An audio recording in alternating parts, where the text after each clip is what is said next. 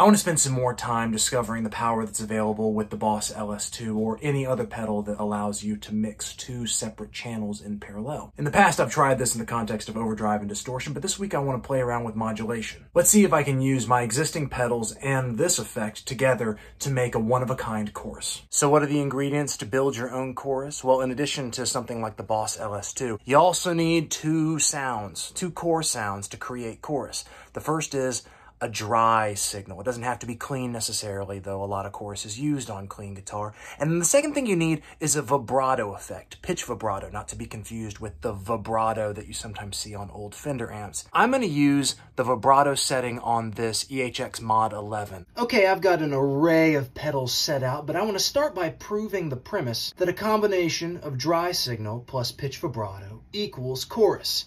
In the A channel of the line selector, that's this yellow patch cable. It's going, as you can see, from one side to the other. That's carrying just the clean signal of my guitar. The B channel is where the magic's at. This green is going through the Mod 11 on a pitch vibrato setting. It's also going through this other stuff that I'm going to talk about later, right back into the return for the B side. Here's what it sounds like if I play just the dry sound.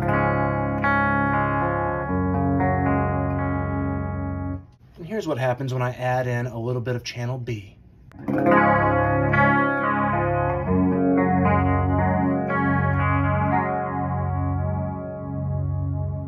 Sounds like chorus, right? But kind of like your typical chorus, the kind of chorus you could buy off the shelf at any guitar center. What if you wanted a unique, one-of-a-kind chorus sound? Well, the advantage is that you don't have to put just one pedal in one channel of this line selector. You can string as many things together as your power supplies will allow. So I've added two additional pedals to the string. I've put a Nobels ODR1 overdrive and a little Joyo delay with kind of a short-ish delay setting, almost slapbacky.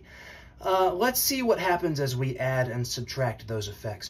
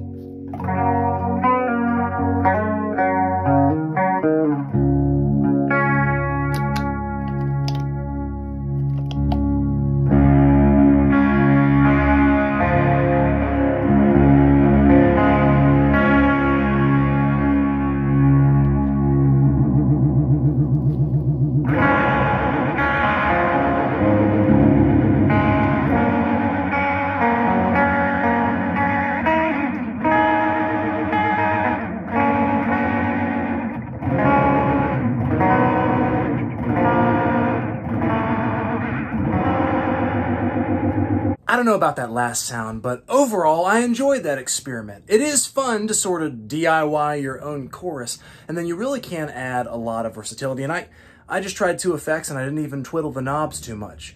If you put a little bit more time and energy into refining your BYOC, build your own chorus sound, I think you could get something that was really interesting, and you could probably use it in a way that's far more creative than I'm going to use it, which is just in the making of this video. If you like this, click like and subscribe for more content that's like it. If you know of other exciting and creative ways to use the LS2 or another line selectory pedal, I'd really be interested. I found that, to my surprise in a way, this utility pedal has inspired more creativity than probably any other effect in my arsenal. Probably says something about the guitar pedal market in general, or maybe just about the labyrinth of my own mind. In either case, if you feel the same, let me know. As always, I appreciate your time, and I'll see you around.